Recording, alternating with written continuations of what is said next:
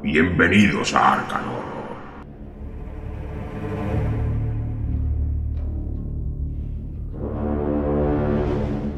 En el apogeo de los locos años 20, en el estado de Massachusetts, una fuerza inquietante ha proyectado su hambrienta mirada sobre las calles de Arkham, y el miedo atenaza los corazones y mente de sus ciudadanos.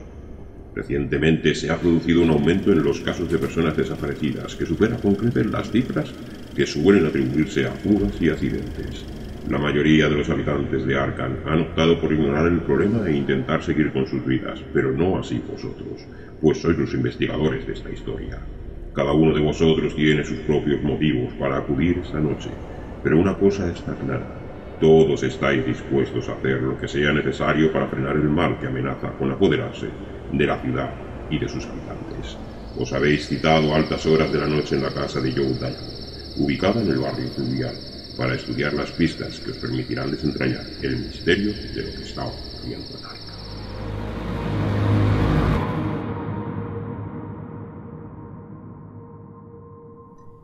Bueno, pues son altas horas de la noche y Caroline llega a la entrada principal de la puerta de la casa de Joe Diamond. ¿Qué haces, Caroline? Bueno, llamar a la puerta lo primero. Voy. Joe se acerca y te abre la, puerta. Buenas noches, señorita. Hola, eh, Joe, vengo a pedirte ayuda. Eh, hay sucesos que están ocurriendo no solo en el sanatorio en el que yo trabajo, en un hospital también está desapareciendo gente. He encontrado una libreta con apuntes muy raros en el que hablan de aullidos de perros y rituales, cosas similares. Necesito poder encontrar a Drew, que es un veterano de mi sanatorio que creo que puede tener algo que ver. Eh, espere, espere un momento. Mira, así por la puerta. Pase, por favor, pase. Y vamos a hablar. Y se van para. Pues para el salón. Vale. Mm. meten aquí en el salón para tener esa charla distendida. Hombre, distendida. No ando yo para distensiones, ¿sabes? Estoy muy nerviosa. He venido a altas horas de la mañana o de la noche. Bueno, eh, por lo que me comentas, Caroline, esto sería una gota más en el, en el vaso. Mm, No sé si sabes que entiendo que sí, que en Arkham está desapareciendo mucha gente. Y bueno, yo tengo mis sospechas, he estado hablando con otros compañeros investigadores de distintas áreas. eh,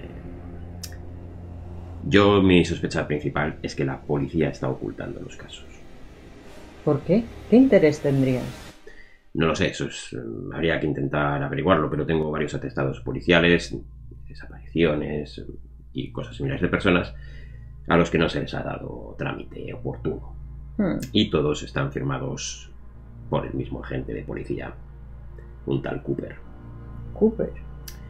Así que sospecho que en la comisaría puede ser que sepan algo o esté pasando algo, no lo sé. No me gusta pensar que estén ocultando este tipo de cosas, pero no puedo negar los hechos. Quizás mano. son gente del hospital, como en el caso de Drew, al que estoy buscando, quizá no les importe. y si se quitan de en medio, mejor. Pero a mí sí me importan. Me importan mis pacientes. ¿Has hecho el hospital? ¿El hospital Santa María? Eh, mi caso era el sanatorio de enfermos mentales, pero una compañera, Clark, me ha informado de que también está desapareciendo gente en el hospital. Interesante. He estado hablando con, con William Yorick, el enterrador. No sé si. Bueno, supongo que a lo mejor usted no le conoce. Eh, han estado profanando tumbas, no solo en el cementerio del que se encarga, sino en otros. Eh, no sé, yo no le quería dar mucho crédito, pero según él, o los cadáveres desaparecen o aparecen completamente descuartizados. Eso puede tener que ver con las locuras que he visto en el cuaderno que he encontrado. Hablan de devorador, de, mm, de hijos, hablan de que está muy cerca, de que el hambre los guía, y que hay que ir con los muertos congelados, reunirnos con alguien, prepara los cuerpos para el festín. preparados. Mira, mira, si es que está en esta libreta. Suscríbete. Suscríbete. No sé, me niego, me niego a creer en estas. En, esta- en estas cosas, pero. En fin, no sé. Sea locura o no, está provocando que Sí, hagan es- estas cosas. Cierto, William me comentó que los certificados y defunciones de los cadáveres que están desapareciendo proceden del Hospital Santa María. Y hay ciertas incongruencias en los certificados de las defunciones. Y están todos firmados también por la misma eh, persona. Voy a mirar. ¿Incongruencias a qué se refiere? No lo sé, no he tenido tiempo de, de ver. ¿Muertes extrañas, quizá? No sabría decirla. Ruth Turner es el que firma los certificados de y demás. No, no he tenido acceso a los eh, certificados por lo que no puedo Determinar. determinar. Quizás mm, sería una buena línea de investigación acudir al hospital para, Sí. para ver, eh, bueno, para intentar tirar del hilo entre lo que le ha dicho su, su amiga de allí la información de los certificados. Quizás por ahí podamos encontrar algo. Eh, Debemos ver si hay muertes extrañas, si están suministrándoles algún tipo de fármaco que les crea esta locura.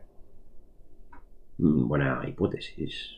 Algo que estuvieran, no sé el motivo o el móvil, pero alguien que estuviera alterando el comportamiento humano y hiciera que, bueno, pues eh, robaran cadáveres del cementerio y los despedazaran. Bueno, podría, podría ser una, una opción, aunque se nos escapen los motivos últimos de... Pero tenemos que empezar por algo. Sí. em, ¿Cuál era su campo de, de experiencia, Caroline? Yo soy psicóloga y experta hipnotista. Bien. Y Por eso pien- sé que hay fármacos que pueden inducir a la locura y al delirio. Eh, no le había hecho mucho caso porque la verdad es que estas cosas, eh, como digo, no sé, me parecía más algo del folclore y demás. Pero estuve hablando con Daisy Walker de la Ah, biblioteca. Sí, Eh, hemos compartido experiencias. experiencias. Mm. Bien, pues eh, además, como acabamos de mencionar, esto de alaridos, mordiscos, cadáveres. Eh, no sé, ella me dio la traducción de un libro, unas páginas traducidas, Cool des Ghouls, o algo así. Mi francés, como usted comprenderá, es bastante, bastante malo. Eh, se lo voy a dar a usted para que lo pueda leer y aquí atrás, bueno, ahora lo verá usted que hay como una especie de referencia a otro alfabeto y demás. Schools de Schools. Página 131, 132, 135, traducción. En muchas sectas, concretamente las que practican ritos que se consideran tabú, como el canibalismo, es habitual el uso de métodos clandestinos de comunicación. A lo largo de los siglos se han empleado escrituras cifradas, intrincados gestos con las manos, elaborados movimientos de los ojos y otras técnicas diversas. Mm. Estas formas de comunicación suelen ser concebidas por humanos, en ocasiones bajo el influjo de fuerzas antiguas o sobrenaturales, y son endémicas de la región donde se rinde el culto. Estas sectas operan a menudo de manera epidémica, de tal forma que la gente normal podría verse expuesta a un aspecto del conocimiento esotérico del cosmos y de ello brotar espontáneamente una nueva secta escindida de la original como ocurre con las epidemias, y a menudo recurren a formas de comunicación ya existentes en vez de idear un nuevo sistema propio. Viginti tres Simbola de Sidra Beata Salvi. Salvio, por cuyo nombre se identifica también este código, es el referente documentado más antiguo del Viginti tres Símbola, que se traduce literalmente como 23 símbolos.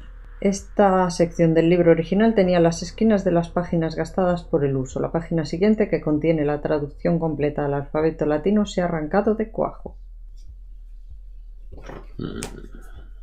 Estos símbolos se hallaron garabateados en las paredes, suelos y otras superficies sólidas del estudio de Salvio en algún momento de la Edad Media en 950 a.C., dibujados enteramente con sangre. Según los informes oficiales, se había utilizado demasiada sangre, como para que toda ella procediese del cuerpo de Salvio. Los símbolos que aparecen transcritos al alfabeto latino en la página siguiente obedecen a una peculiar serie de normas lingüísticas que deben tenerse en cuenta a la hora de descifrar los textos. Allí donde aparezcan las letras AE juntas, se escriben simplemente como si fuesen una E, y aparece un símbolo como de una serpiente. Las letras U y U se representan con el mismo símbolo. Será U y U de a lo mejor. Es que está igual escrito. Hmm. Las letras M y W comparten el mismo símbolo con la salvedad de que el símbolo de la W está girado 90 grados hacia la izquierda. Las letras J y G se representan con el mismo símbolo. Las letras dobles se representan escribiendo el símbolo una sola vez y trazando una línea horizontal sobre el mismo para denotar la duplicación. Por ejemplo, dos Fs en el alfabeto latino serían esto parece un ancla. y dos N serían unas Pues olas con una cruz. Otro símbolo. Mm, Bueno. mm, Sectas, cultos. eh, A mí esto me suena a locura. sí, Como eh, psicóloga, a mí esto me suena a locura. la locura puede ser la fuente de todos los males. Mm, Joe se acerca a la ventana. Aquí a tu lado. Mira por la ventana a un lado y a otro. Bueno, no creo que vaya que vaya a venir. La señorita Rita Young se pasó por por la comisaría y bueno la atendió, por así decirlo, el tal agente Cooper. Ajá.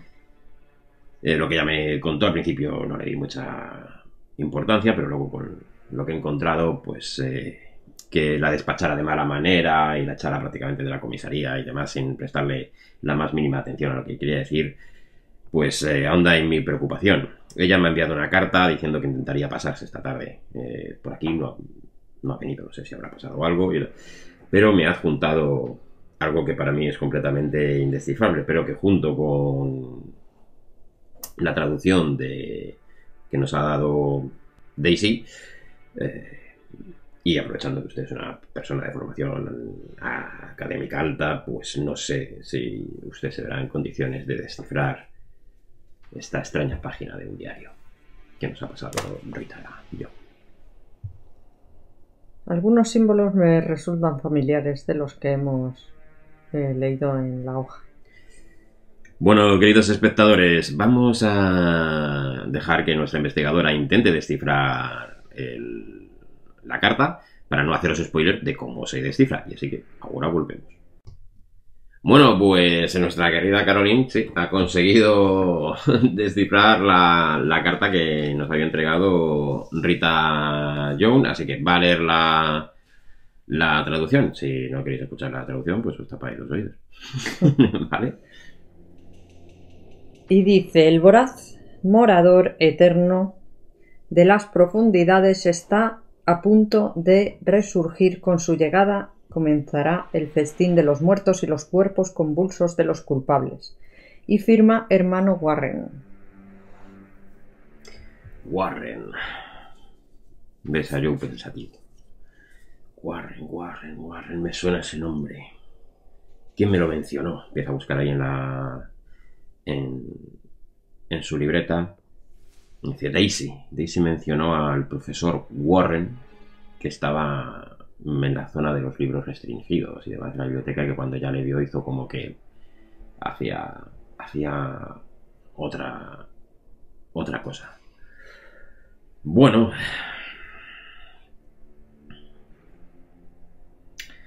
Tenemos eh, posibles líneas de investigación según lo veo yo, señorita Caroline. Tenemos el... mi sospecha de que la policía está ocultando algo, o, o al menos el agente Cooper, por las pruebas que tengo, lo que nos ha contado la... eh, bueno, me contó la propia eh, Rita Young y también tenemos eh, que por la llamada que recibió usted de su compañera del hospital, los certificados de defunciones que parece que son un poco raros, amañados o demás, Sí. que ha visto el enterrador, que apuntan a, al hospital, a la morgue y todo. Y todo. Y todo esto. Y por último, eh, Daisy parece que andaba bien tras la pista de algo porque nos ha dado la clave para poder descifrar el texto de, de ese diario que, que nos ha enviado mm, Rita. Habría que averiguar, tendríamos que averiguar si ese tal Warren puede ser el Peter Warren. Puedo ir a preguntarle a, a Daisy con la carta ya traducida. A ver qué piensa ella y si acaso que me dé la dirección de donde vive el profesor para poder ir a hablar, también interrogarle. No sé cómo lo ve usted, Caroline. Eh, Creo que deberíamos pedir copias de los certificados de defunción del hospital. O tratar de conseguirla. Al final, yo puedo intentar conseguirlo. mm, o sea, aboga porque tiremos, tiremos primero por la línea de investigación del hospital. Creo que deberíamos considerar que todo esto son delirios de personas y que realmente hay una razón oculta para todas esas muertes. No sé si tráfico de órganos o cualquier cosa así. Creo que deberíamos ser más analíticos que no las locuras que está provocando esos fármacos o cualquier otra cosa que le estén dando a la gente. Al final no dejan de ser locuras ocasionadas por eso. Bien, pero no confundamos las hipótesis con, las teorías, señorita Caroline. Me parece muy razonable y respetable la hipótesis, pero no tenemos pruebas de que haya fármacos ni de que se estén suministrando a nadie. Hombre, no voy a pensar que los muertos se van a levantar de sus tumbas. La ciudad de Arkham es tan extraña. He visto Sí, sí, no te digo que no. Caroline, la verdad es que ya uno no sabe qué pensar y con estos textos mm, escritos en otra lengua, ah, uno ya no sabe qué pensar. Así que lo mejor que podemos hacer es ceñirnos, ceñirnos a los hechos. Tenemos un- unos textos extraños que hemos traducido con un mensaje difícil de, de entender. Eh, tenemos el testimonio de el enterrador William de que están desapareciendo cadáveres y algunos aparecen descuartizados. Tenemos Sí. su amigo desaparecido y la llamada de su amiga desde el hospital de que allí estaban pasando cosas, digamos, un poco raras. Y tenemos la sospecha de que la policía, o al Sí, menos sí. parte de la policía, está intentando ocultar lo que está pasando. Las evidencias las tengo claras. Bueno, pues eh, bueno, ya es bastante tarde. Podemos, si quiere, trazar un plan para mañana. Ujú. Si prefiere usted tirar por la línea de investigación del hospital, por mí no hay problema, nos dirigimos al, al hospital. Puedo, mm, antes de que quedemos, me puedo acercar a visitar a, a Daisy a primera hora en la biblioteca con la carta y preguntarle a ver si nos puede proporcionar la dirección del tal Warren. Y bueno, pues tenemos otro hilo si acaso del que del que tirar. No sé si está usted de Sí, acuerdo. sí, sí. Bien, pues entonces creo que mm, nada más. No sé si quiere usted volver a casa a estas horas o prefiere, mm, no sé, acomodarse aquí como usted, como usted le indique. Estaría más tranquila en mi casa. Más tranquilas cosas. Bueno, pues entonces eh, poco más. Así que en ese momento nuestros dos investigadores se dirigen hacia la puerta. Yo adelante, guiándote hacia, Sí. hacia la puerta. De repente oís un estruendo, un golpe. Es ese típico sonido de cuando algo o alguien está golpeando a través de una puerta y consigue romperla para atravesarla.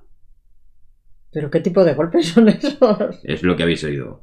En ese momento ves como eh, Joe Diamond reacciona muy rápido, se mete las manos detrás de la gabardina y saca sus dos pistolas y se pone bueno y dice, Caroline, colóquese detrás mía.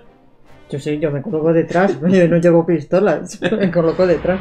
Y veremos qué pasa en el próximo capítulo de Arkham Horror. Los discípulos en la mesa de batalla